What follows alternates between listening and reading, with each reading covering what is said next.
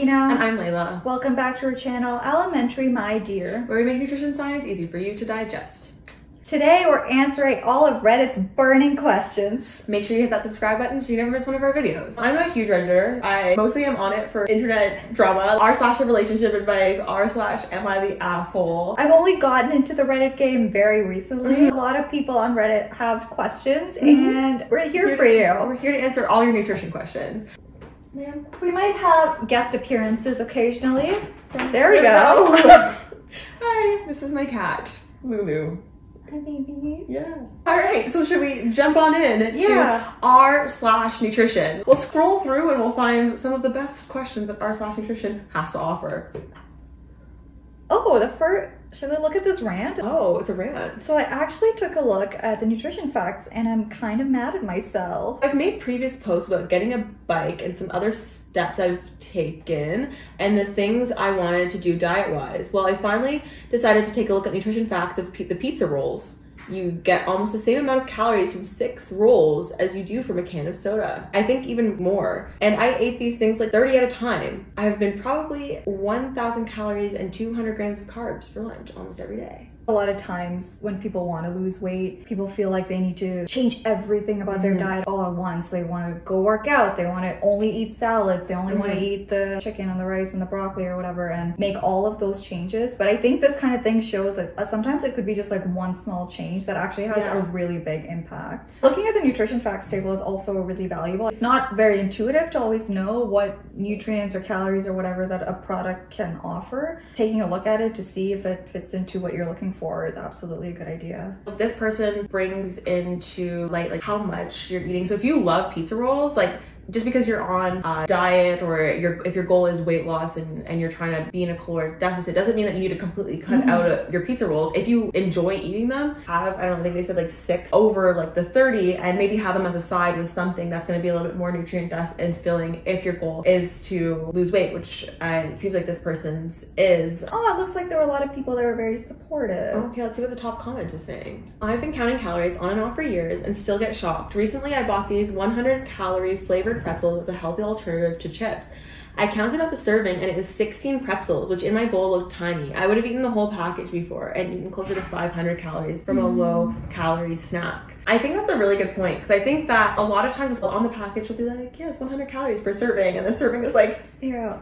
Two little things. It's insane. Even for bars and stuff, a lot of nutrition facts table is for half the bar. One, one third of a bar, and you're like, Who's who's eating that? half the bar? It's so misleading. I believe there's plans to change regulations Mhm. for that to be realistic portions or standard across like all Yeah. similar products. Has that already been done? I I don't think so. I think that like they, they were supposed to do it, and then Health Canada was like, "Oh, COVID, guys, I guess you're you don't have to." Which I was like, they gave them more time to do "Do it. it." Yeah, but yeah, no, I think that this brings up a great point. Is that like you're buying something and they specifically market it as like a low calorie snack. A lot of popcorns too. It'll be like 35 calories a cup. Like who, who's only eating a cup of popcorn? Honestly, I'm out there eating the whole bag. I know in the UK, their nutrition facts labels, it's for the product, like if it's a bar or whatever, and then they also have it per 100 grams. Grams. And I think the intention there is to be able to compare Compare, products mm-hmm. more easily. I think that's a great strategy, and unfortunately, we don't have that here. We have like the percent daily value. I kind of find that confusing sometimes because that's also based on the portion size. And I feel like these companies, like, they know what people are looking for. They're looking for low calories, so they're going to do every loophole they can to put the lowest number of calories on the label. Yeah.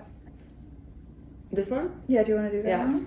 This person is asking, does total protein intake actually matter if you're getting all the amino acids you need? So this is a hypothetical question. The person says, is there any difference if one were to eat the recommended amount of protein versus eating very little protein, but in getting the same amount of essential amino acids from supplements? This person's basically wondering if the volume of total protein actually matters or if it's just a matter of getting the necessary amount of amino acids. The context of that is amino acids are the building blocks of protein. And when you eat protein, your body basically breaks it down into amino acids and then absorbs the amino acids. And then in your body will use those amino acids to build all the structures and hormones and whatever that it needs to make. And I think this is a really interesting question. Why? Do, Yeah. Why would anyone need to know this? And, and like, is this coming from a place of like, oh, just pure Pure intellectual curiosity, or the person is practically wondering if they could just get a bunch of supplements and not worry about eating protein. The answer to this question, from a hypothetical sense, purely is the amino acids you're taking in equal to the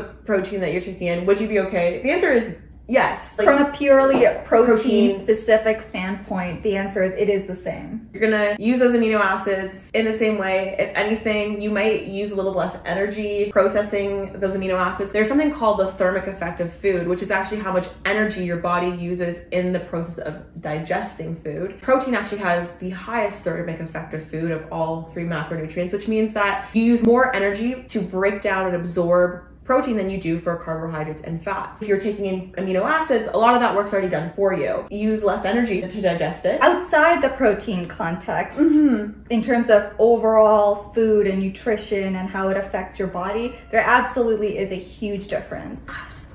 First of all, we're not eating these nutrients like protein in isolation, Mhm. and pretty much every protein rich whole food comes with a lot of other nutrients as well. For example, a lot of animal products come with zinc, iron, and B12. Not only that, because you're eating a food that has more than just the protein, you're gonna feel full and satisfied so you can actually function in the day. Mhm. I feel like if I was just consuming amino acid supplements, I'd be pretty hungry and cranky. Yeah, also, I just like eating food. Why is this even a question? I mean, it is a hypothetical question. I, mean, it's a it's a valid good, question. It's a good science-based question. Yes. It's a good science-based question. I think a pure nutrition scientist would love this question.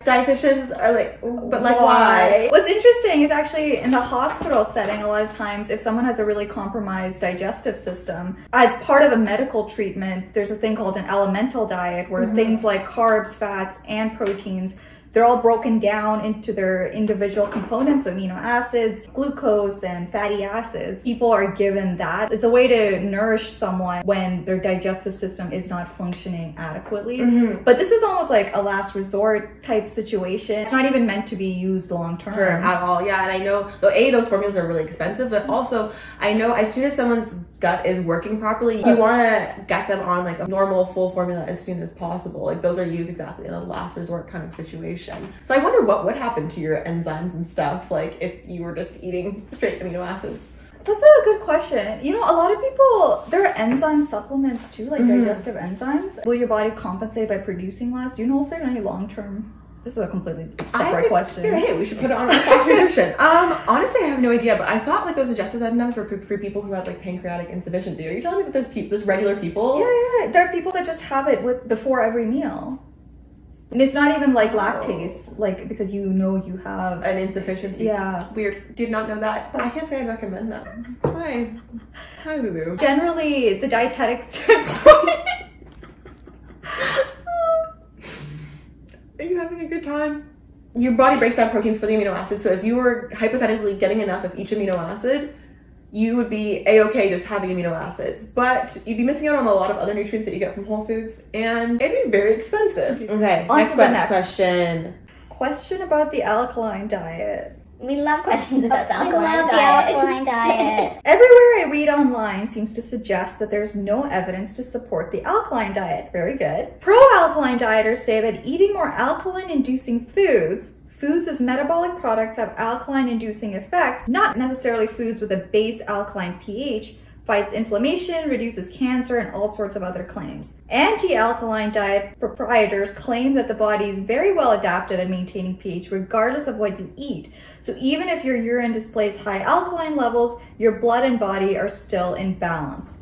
But what about how much your body has to fight to maintain balance? Has this been studied? It's a really weird question because what are I, I think the premise of the question is flawed, right? I Mhm. think the person believes that yes, your body will maintain pH, but if you're eating foods that are acidic, then your body will have to fight to bring it to homeostasis. Or if you're eating too much basic foods, then your body's again gonna have to fight to bring it to its homeostasis. Mhm. That in and of itself is not correct. this idea that being more alkaline is a good thing i just don't really know where this came from and also where this idea that foods can create your body being more alkaline. I wonder if it's just that acid, the word, it has a fearful, like it's gonna hurt me, uh, it's gonna burn, or like, you know what I mean? It Yeah. has a harmful connotation to it inherently. But in some paradigms or ways of thinking, our digestive system, the digestive tract in and of itself, is almost not viewed as being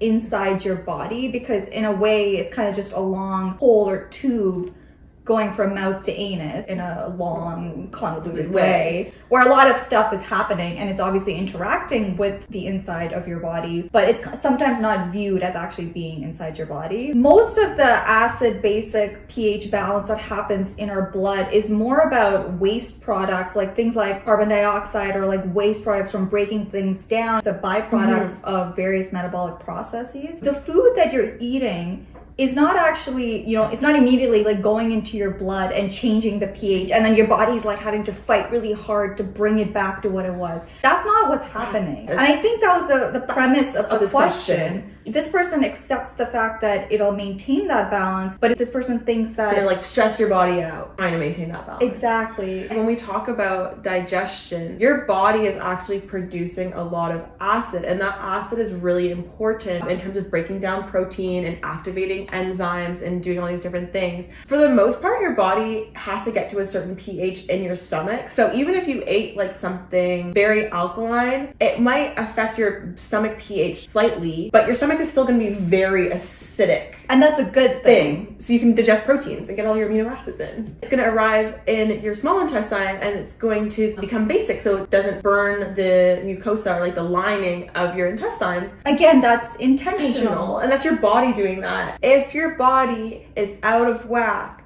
that is a medical emergency. That is a medical emergency. You need to go to the hospital. Okay, let's look up. The alkaline diet.